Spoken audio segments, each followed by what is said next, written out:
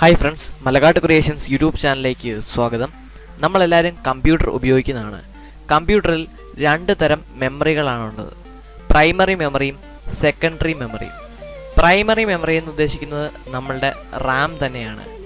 Secondary memory എന്ന് ഉദ്ദേശിക്കുന്നത് നമ്മളുടെ ഹാർഡ് ഡിസ്ക് അതുപോലെ തന്നെ അതിനോട് അനുബന്ധമായ മറ്റു ഉപകരണങ്ങൾ അതായത് C drive pen drive external hard disk എന്നിവ വേണ്ട ഏത് സ്റ്റോർ ചെയ്യാൻ ഉപയോഗിക്കുന്ന ഏത് ഡിവൈസും സെക്കൻഡറി മെമ്മറിയിൽ പെടും. അപ്പം ഈ സെക്കൻഡറി മെമ്മറിയിൽ പെടുന്നതായ ഹാർഡ് ഡിസ്കിന്റെ രണ്ട് ഡിവിഷൻസിനെ പറ്റിയാണ് നമ്മൾ ഇന്ന് ഡിസ്കസ് ചെയ്യുന്നത്. അതിനെപ്പറ്റി ഒരുപാട് മിഥ്യാധാരണകൾ നമ്മളുടെ ഇടയിൽ പരക്കുന്നുണ്ട്. അതായത് ഹാർഡ് ഡിസ്കിനെ പറ്റിയാണ് നമ്മൾ ഇന്ന് ചർച്ച ചെയ്യാൻ പോകുന്നത്. ഹാർഡ് ഡിസ്ക് രണ്ട് തരത്തിലുണ്ട്. എച്ച് ഡി ഡിയും എസ് എസ് ഡിയും എച്ച് എച്ച് ഡി ഡി എന്ന് പറഞ്ഞു കഴിഞ്ഞാൽ hard disk drive S S D എന്ന് പറഞ്ഞാൽ സോളിഡ് സ്റ്റേറ്റ് ഡ്രൈവ് എന്നാണ് ഉദ്ദേശിക്കുന്നത്. അപ്പം ഇവ തമ്മിലുള്ള സ്ട്രക്ചറിൽ ഉള്ള വ്യത്യാസം നമുക്ക് നോക്കാൻ സാധിക്കാം.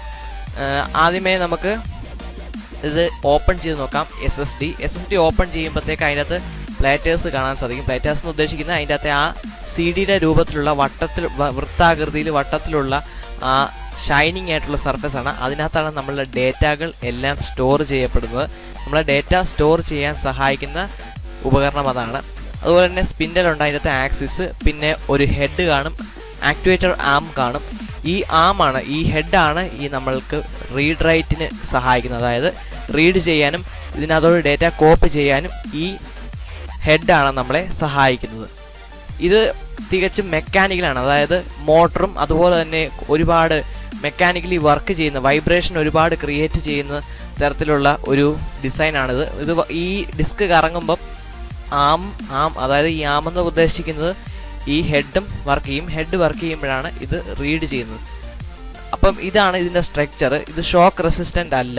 അപ്പോൾ നമുക്ക് ഇനിയും എസ് എസ് ഡിയിലോട്ട് നോക്കാം. എസ് എസ് ഡിയിൽ പോകുമ്പോൾ നമുക്കൊരു ക്യാഷ് മെമ്മറി കാണും പിന്നെ ഫ്ലാഷ് മെമ്മറി കാണും പിന്നെ ഒരു കൺട്രോളർ കാണും. ഇതിനകത്ത് മെക്കാനിക്കലായിട്ട് ഒരു തരത്തിലുള്ള സംഭവമില്ല അതായത് ഒരു മോട്ടറോ ഒന്നുമില്ല. നമ്മളുടെ മെമ്മറി കാർഡ് അതുപോലെ തന്നെ നമ്മളുടെ എന്താണ് പെൻഡ്രൈവ് ഈ ഇത്തരത്തിലുള്ള സെക്കൻഡറി ഡിവൈസിൻ ഡിസൈൻ ചെയ്യപ്പെട്ട പോലെ തന്നെയാണ് ഈ എസ് എസ് ഡി ഡിസൈൻ ചെയ്യപ്പെട്ടിരിക്കുന്നത് നോക്കുക നിങ്ങൾക്ക് കാണാൻ സാധിക്കും. ഇവിടെ മെമ്മറി ചിപ്പുകൾ മാത്രമേ കാണാൻ സാധിക്കത്തുള്ളൂ ഇലക്ട്രോ ഇലക്ട്രോണിക് ആയിട്ടുള്ള ചിപ്പുകൾ പക്ഷേ മറ്റേതിനകത്ത് മോട്ടറും അതുപോലെ തന്നെ ഒരു നമുക്ക് പ്ലേറ്റേഴ്സും കാണാൻ സാധിക്കും. സ്പീഡിനെ പറ്റി പറയുകയാണെങ്കിൽ എച്ച് ഡി ഡിയുടെയും എസ് എസ് ഡിയുടെയും കാര്യത്തിൽ വലിയൊരു വ്യത്യാസം തന്നെ ഉണ്ട്.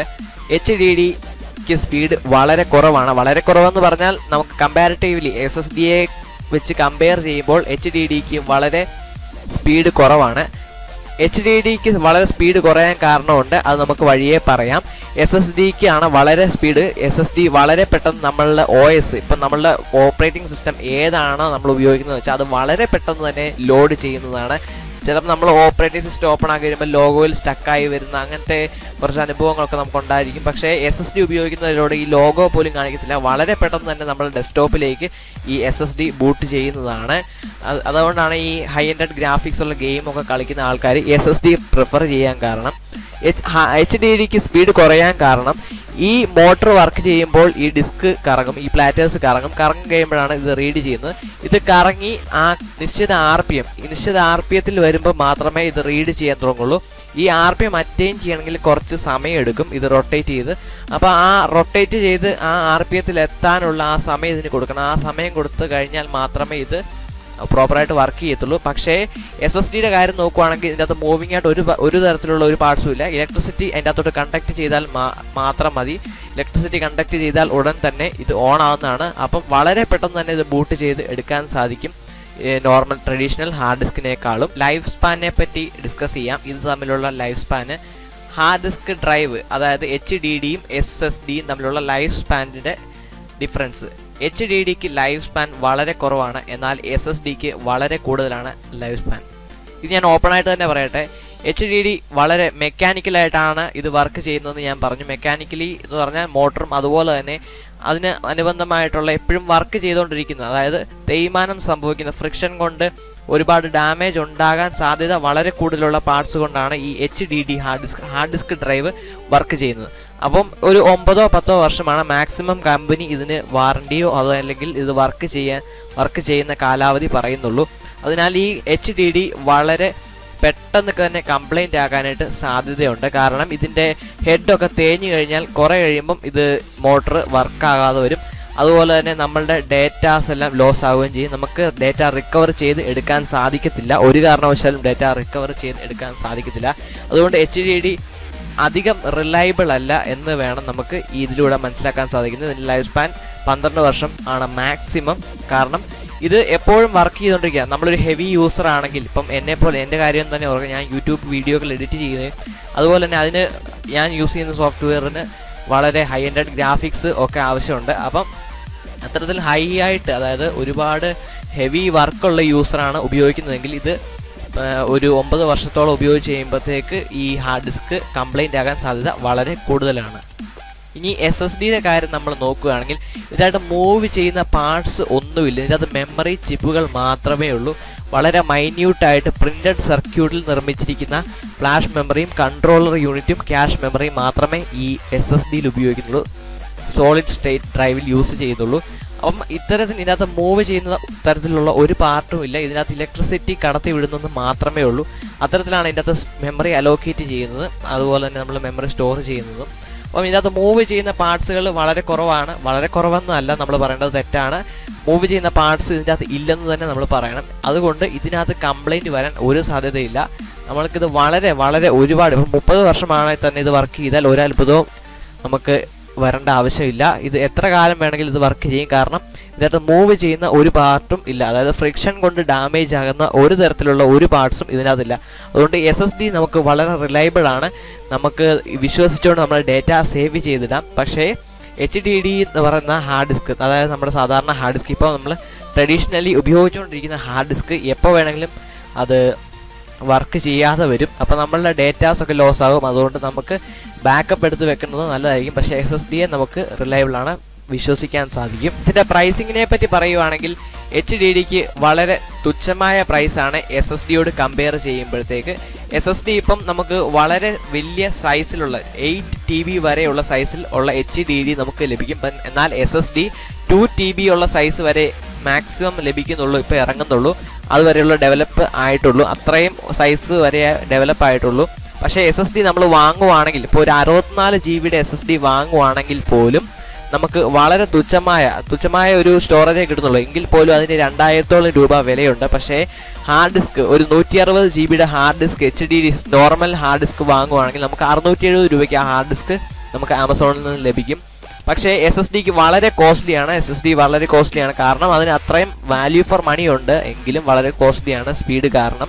പക്ഷേ എച്ച് ഡി ഡി നമ്മൾ ട്രഡീഷണൽ ഹാർഡ് ഡിസ്ക് വളരെ ചീപ്പായിട്ട് നമുക്ക് ലഭിക്കും. അതാണ് നമ്മൾ ട്രഡീഷണൽ ഹാർഡ് ഡിസ്കിന് ഈ എസ് എസ് ഡിയെ അനുബന്ധിച്ച് ഉള്ള ഒരു ഗുണം. ഓക്കെ നമ്മൾ എസ് എസ് ഡിയെയും എച്ച് എച്ച് ഡി ഡിയും നമ്മൾ ഒരുപാട് ഡിസ്കസ് ചെയ്തു. അത് അവ തമ്മിലുള്ള ഡിഫറൻസും അവ തമ്മിലുള്ള സ്പീഡും പ്രൈസിങ്ങും കാര്യങ്ങളൊക്കെ ഡിസ്കസ് ചെയ്തു. പക്ഷേ ഇവ തമ്മിലുള്ള സ്പീഡിന്റെ വ്യത്യാസം ഞാൻ പറഞ്ഞല്ലോ അതാണ് ഇതിന്റെ മെയിൻ ആസ്പെക്റ്റ് അത് നിങ്ങൾക്ക് മനസ്സിലാകണമെങ്കിൽ നിങ്ങൾ നേരിട്ട് കാണണം. ഇത് തമ്മിൽ ഇത് ബൂട്ട് ചെയ്യുന്നതിന്റെ സ്പീഡ് എസ് എസ് ഡിയിൽ ബൂട്ട് ചെയ്യുന്നതും എച്ച് ഡി ഡിയിൽ ബൂട്ട് ചെയ്യുന്നതും തമ്മിലുള്ള വ്യത്യാസം നിങ്ങൾക്ക് കാണണം. അതിനായിട്ട് ഞാനൊരു വീഡിയോ ഇവിടെ തയ്യാറാക്കിയിട്ടുണ്ട്. ആ വീഡിയോ നിങ്ങൾ കാണുമ്പോഴത്തേക്ക് നിങ്ങൾക്ക് മനസ്സിലാകും ഈ എസ് എസ് ഡിയും എച്ച് ഡി ഡിയും തമ്മിലുള്ള വ്യത്യാസം. ഇവിടെ ഞാൻ ഇതിനായിട്ട് എടുത്തിരിക്കുന്ന എച്ച് പിയുടെ രണ്ട് സെയിം സ്പെക്സ് ഉള്ള ലാപ്ടോപ്പാണ് ഈ ലാപ്ടോപ്പ് ഞാൻ ഒരേ സമയത്ത് ഓൺ ആക്കുകയാണ് ഓൺ ആക്കുമ്പോൾ നിങ്ങൾക്ക് കാണാൻ സാധിക്കും എച്ച് പിയുടെ ലോഗോ വന്നു. അതിനുശേഷം വിൻഡോസ് സെവൻ ആണ് ഈ രണ്ട് ലാപ്ടോപ്പിലും ലോഡ് ചെയ്തിരിക്കുന്നത്.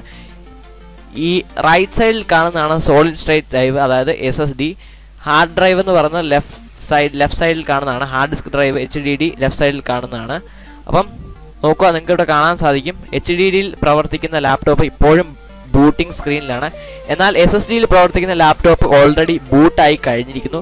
നിങ്ങൾക്ക് കാണാൻ സാധിക്കും അതിന്റെ വ്യത്യാസം എന്തോരം ഉണ്ടെന്ന്. നോക്കുക നമുക്ക് എപ്പം ഇത് ബൂട്ടാവുമെന്ന് അറിയത്തില്ല. നിങ്ങൾക്ക് തന്നെ കാണാൻ സാധിക്കും ഇതിന്റെ സ്പീഡിന്റെ ഡിഫറൻസ് നോക്കുക ഇത് രണ്ടും ഒരേ ലാപ്ടോപ്പാണ് ഒരേ സ്പെക്സ് ഉള്ള ഒരേ ലാപ്ടോപ്പാണ് നോക്കുക.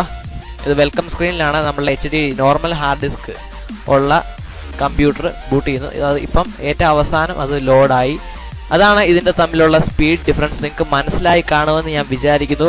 ഇത് ഒരു തരത്തിലുള്ള ഫേക്ക് വീഡിയോ അല്ല. ഇത് തമ്മിലുള്ള സ്പീഡിന്റെ ഡിഫറൻസ് ഇത്രയും ഉണ്ട്. ഈ ലാപ്ടോപ്പിന്റെ സ്പെസിഫിക്കേഷൻ എന്ന് പറഞ്ഞാൽ രണ്ടും എയ്റ്റ് ജി ബി റാമാണ് നെവിഡിയ ജി ഫോഴ്സിന്റെ ഗ്രാഫിക്സ് കാർഡാണ് ഇതിനകത്ത് യൂസ് ചെയ്തിരിക്കുന്നത്. ഇന്റൽ ഐ ഫൈവ് പ്രോസസ്സറാണ് ഇത് രണ്ടിലും യൂസ് ചെയ്തിരിക്കുന്നത്.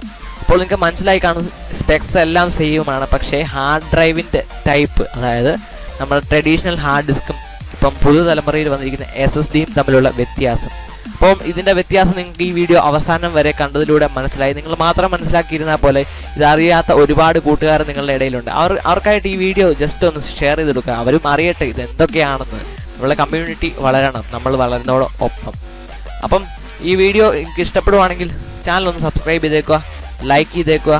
ഓക്കെ ഫ്രണ്ട്സ് ഇതിലും നല്ലൊരു അറിവുമായി നമുക്ക് അടുത്ത വീഡിയോയിൽ കാണാം. ബൈ